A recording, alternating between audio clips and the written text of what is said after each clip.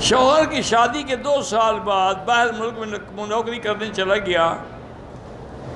कहा कि बीवी को बुला लूँगा, पंद्रह साल गुजर गए, नहीं आए। कुछ भी खर्चा नहीं, खुलो करके जान छुड़ाओ, अपनी पंद्रह साल से नहीं आया, अभी भी तुम उसकी बीवी हो। जान छुड़ाओ ऐसे बदबक से जो पंद्रह साल अपनी बीवी का खबर भी न ले। मस्जिद आयशा दी उम्र करने पर उलमा का इख्तलाफ है, होता रहे। बहरहाल इमाम अबू हनीफा और इमाम शाफी के नज़दीक उसके अंदर कोई इख्तलाफ नहीं बाकी अगर कोई नहीं करता, वो भी ये इख्तलाफ है, वो कहते हैं ज़रूरत के ताबे हो सकता है, बगैर ज़रूरत नहीं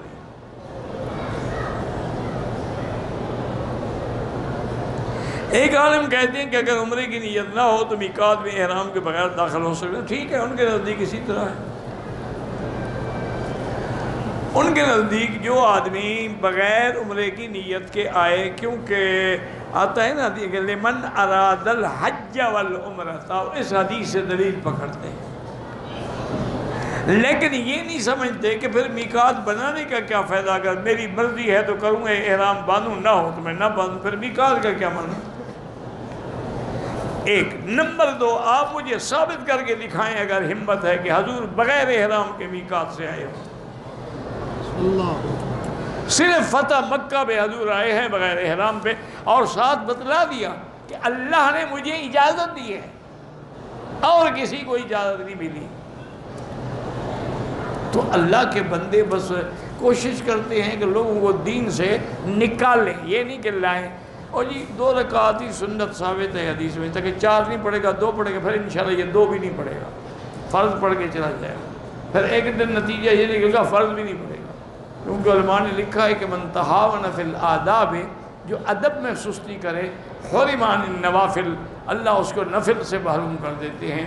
वह मन तहावन फिल नवाफिल, और जो नफिल में सुस्ती करे, अल्लाह सुन्नत से महरूम कर देते हैं। और जो सुन्नत से सुस्ती करे, अल्लाह ताला उसको फ़र्ज़ से भी महरूम कर देते इसीलिए अलिया अल्लाह ज़ोर देते हैं कि आदाब नवाफिल, ताकि जो तहजद नहीं छोड़ेगा, फजर की नमाज़ कैसे छोड़ेगा? कहते हैं कि मस्जिद आयशा औरतों के लिए भी कहा हजूर ने लिखा हो कि सिर्फ़ औरत के लिए वो हदीस तुम दिखा दो, हम भी बता देंगे। अगर सिर्फ़ औरतों के लिए हजूर ने फरमाया होगा ना कि आयशा सिर्फ़ तुम्हारे लिए, बस। या तुम्हारे बाद भी सिर्फ़ औरतों के लिए है। अब्दुल्ला इब्न ज़ुबैर अब्दुल्ला इब्न उमर तो औरत नहीं थे, वो तो उम्र करते थे। बस एक जिद है, मुकाबला है, लोगों को दीन से हटाना। असल पॉलिसी यही है। कि ऐसे ऐसे आसान मसले बताओ कि लोग निकलते जाए निकलते जाए, आखिर छोड़ जाए। एहराम की हालत में हाथों में साबुन लगाया, दो चार रियाल खैरात कर दो, आइंदा एहतियात करो।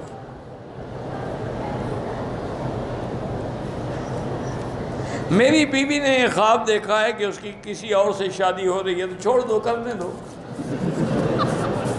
उसका ख्वाब सच्चा कर दो ना। उसको जाओ दबाओ। जो ख्वाब देखा उस पर अमल करो। क्या ऐसी बात? माना है, खुशी मिलेगी, शादी खुशी होती है। ये थोड़ा है कि बाकी दूसरे से शादी होगी।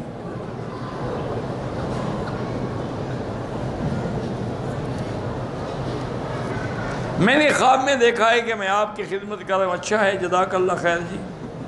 मैंने तो आपको कभी ख्वाब में नहीं देखा। ये भी किस्मत की बात है। एक बंदा आया बड़ी कुदरत की बात, पुरानी बात। मेरे पास हज़रत, बड़ा जनाब, शक्ल, सूरत से बिल्कुल बुज़ुर्ग मालूम हो। कपड़े भी, लिबास भी, दाढ़ी भी, बड़े अदब से आके बैठा जी हज़रत, आपसे एक बात करनी है।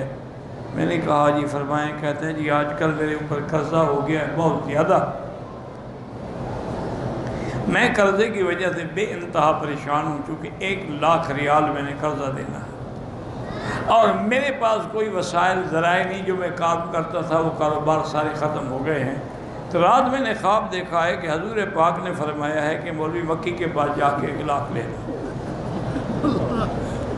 मैंने कहा, हज़रत, पैसे मैंने देने हैं या तुमने? कह दिया आपने कहा, हजूर से फरमाया, अर्ज़ करें कि वो मुझे हुक्म दें। पैसे मैंने देने फरमाया, तुझे है? मैंने कहा, ये तुम करा दो, एक लाख की क्या बात मैं सारी जायदाद भी हजूर के नाम पे देने के लिए तैयार हूँ। झूठ क्यों बोलते हो? फिर नबी के नाम पे झूठ बोलते हो? कोई मस्जिद के नाम पे झूठ बोलता है, कोई मदरसे के नाम पे खुदा का खौफ करो।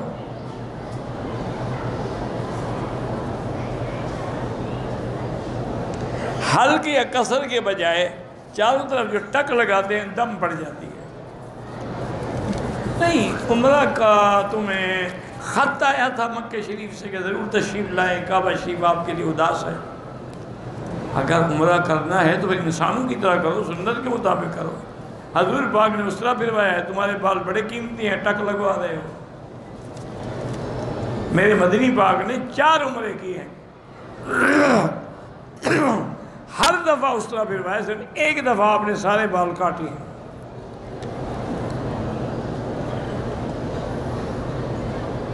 मैं उम्र के लिए के आया हूँ। मेरा दिल अभी तक मुर्दा है। दिल मुर्दा होता तो मक्के में क्यों आते? दिल तो ज़िंदा है तो उम्र पे आए हो ना? वैसे दरू शरीफ पढ़ा करो। हमारे ओलमा कब्रों को चूमते हैं। ओलमा तो नहीं चूमते जो हल्ला चूमते हैं। आलिम तो कोई नहीं चूम सकता, सवाल ही पैदा नहीं होता। ये नहीं कि जो गले में कपड़ा डाल ले या बाल बढ़ा ले, वो आलिम हो। मैं रहबर हूँ हाजियों को लेके आता हूँ उनमें से अपनी टिकट निकालता हूँ, ठीक कोई बात एक लड़की, लड़का अदालत में जाकर निकाह करते हैं, वालदेन के हुक्म के बगैर न करें। ये लव मैरिज जो है ना इन हलाकत का ज़रिया बन जाएगी। मेरी अहलिया के पित्ते में पथरी है, दुआ भी करें और जमजम ज़्यादा से ज़्यादा पिलाएँ, अल्लाह शिफा देंगे। मेरे भाई बीमार हैं, गुलाम बच्चे, अल्लाह शिफा अता फरमाए। मेरे दूसरे औलाद, जिनकी औलाद नहीं, अल्लाह उनको औलाद सारे अता फरमाए। मैं पहली बार उम्र के मैंने बाल मंडाने के लिए सर पे मशीन लगवाई है, ना कि उस तरह कोई हर्ज नहीं, लेकिन सारे सर पे लगाया तो जायज़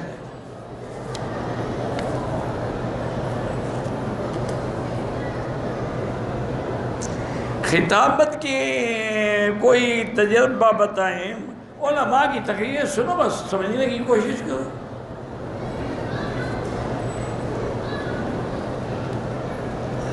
मेरे वालिद फौत हो गए हैं, उनकी कब्र पर मेरे दोस्त ने पत्थर छोटा सा रखो, अलामत के लिए वो जायज़ है। लेकिन पत्थर का पूरी कब्र पे लगाना वो हराम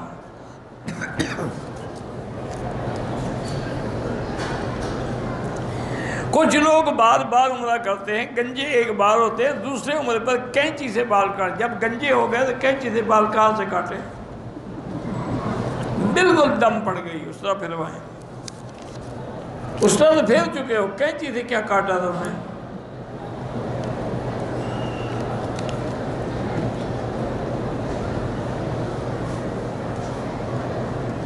मेरी गोद में मेरी बीवी का सर रखा हुआ था बाहर ये गंदी बातें रहता पूछा करो। मुझे तो पढ़ते शर्म आती है तुम्हें लिखते भी शर्म नहीं आई।